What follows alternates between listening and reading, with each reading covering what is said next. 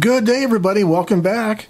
I've been thinking about the deep things, the things that are really deep inside of you that you'd really like to express.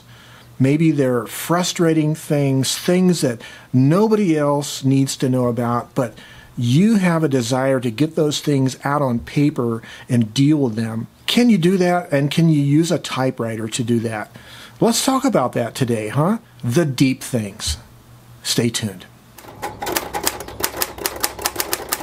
Oftentimes, as typewriter aficionados, we like to share our typings with other people. They could be blog articles, either your own blog or something like one typed page, or you might like to be a voracious letter writer and you're writing letters to people all around the country and around the world. Those are wonderful things. Or maybe you're sharing scans of your typewritten pieces on some typewriter Facebook group. However, you like to do it, those are kind of the public expressions of our typewriter creativity. But there may be other things that you want to write that you don't want to share with everybody. And you might think of it as maybe journal writings or even uh, something a little more intimate than a journal, like a diary. You know, traditionally we think of diaries as some kind of a book with some kind of a lock and a hasp. And, you know, typically a teenager or something would start a diary and they didn't want any of their friends or relatives or parents to know what they were writing. Well, a lot of us adults go through the same phase. We find that there are things we really need to kind of work out for ourselves, and the best way to do that is to write. We often find, as typewriter aficionados, that of course typewriters enable that writing process. So, trying to think of a good term for this, and I originally called it brain dumps. Just kind of whatever is really on your mind, whatever is bothering you, just dump it out on paper. But we need a better phrase. And then I thought about the idea of the soul train. It's like there's a train of thought coming out of your soul, and you're dumping it right on paper. The idea is to be able to write out our deepest cares, concerns, frustrations or, on the other hand, our finest thoughts. Maybe poetic, creative, really wonderful thoughts, but deep things. I really look upon this like a mirror to the soul, right? We want whatever's on that typewritten page to reflect like a mirror what the content is in your heart, right?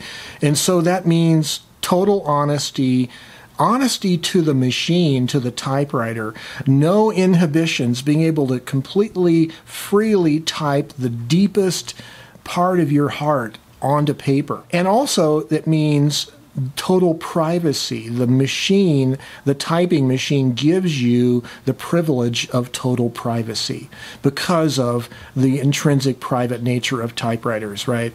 So you can trust it with your deepest thoughts.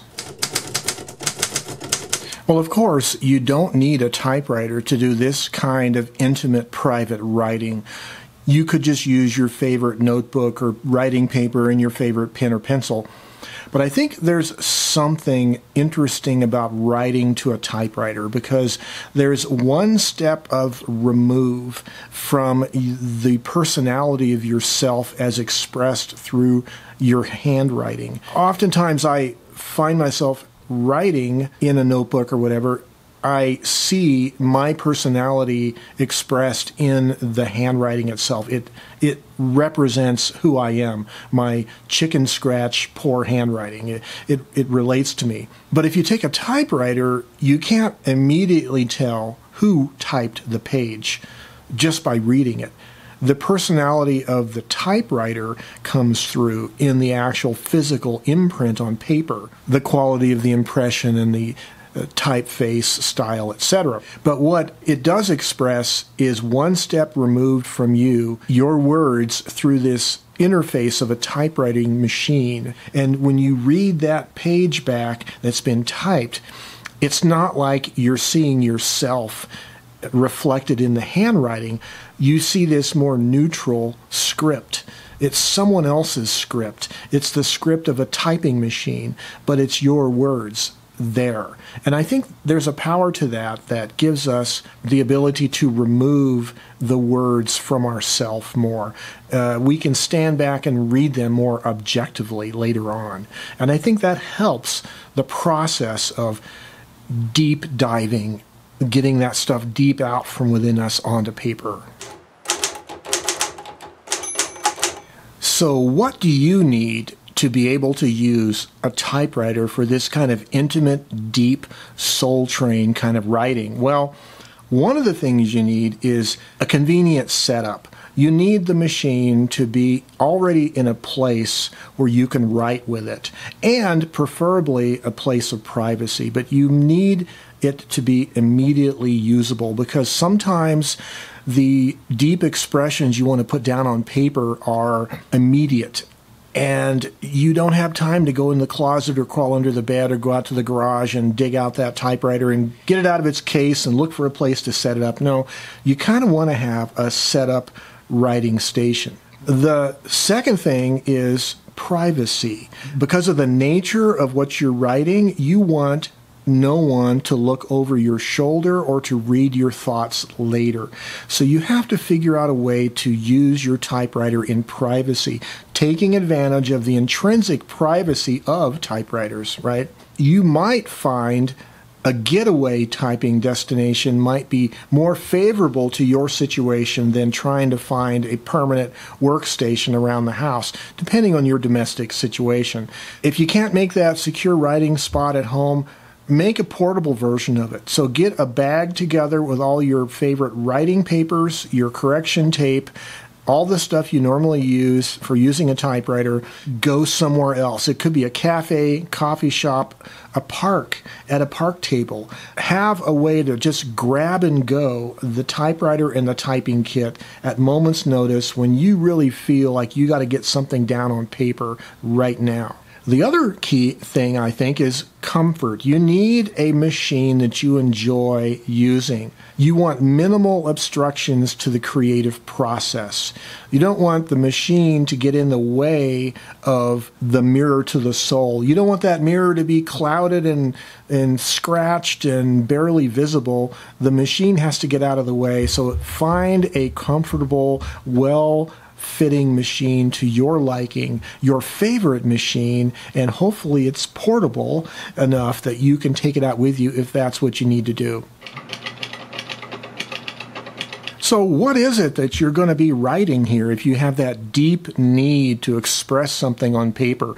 It could be frustrations and things in your life that you deal with on a daily basis, but you don't really want anybody else to know about, or at least you don't want to talk about it at this point with anybody else.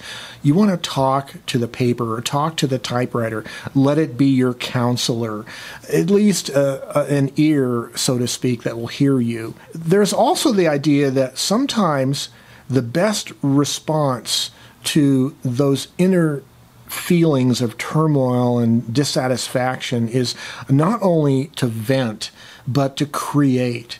Sometimes creativity is the best way to vent. Channel your angst. Uh, into a screed or an essay or a narrative, or write a short piece with characters that you can engage with that have the same issues that you have and work those issues out through the life of your characters that you're writing. Uh, have them explore the process that you're going through. Live vicariously through the words that you put on paper. That is one great way to use your writing talent, your creativity, as a way to deal with inner turmoil. Another element I think important is writing to the future. Direct the meat of your concern to some future reader, either real or imagined, as if some future relative or historian were going to be reading the work. Give yourself a little bit of objectivity away from the uh, immediacy of your situation and kind of write it to the future. And then I think another point that's equally important is write to yourself. Give yourself permission to write to both your past and your future selves as if your thoughts could somehow transcend time and space. Write to your past self and forgive yourself. Write to your future self and give your future self wisdom that you need to know then that you've learned now. But writing to yourself is a powerful thing these are just a few elements of the way you can channel your creative energy through the medium of the machine that always is ready to hear you in privacy. Your secret confessor, your typewriter, a private way of opening up yourself, delivering the contents of your heart onto paper as a way to find solace, comfort, and some maybe solutions to things because that's what we all need is someone to bend an ear to us. And sometimes the best listener is our typewriter. This is Joe Van Cleave. Have yourselves a great day and stay creative. Bye bye for now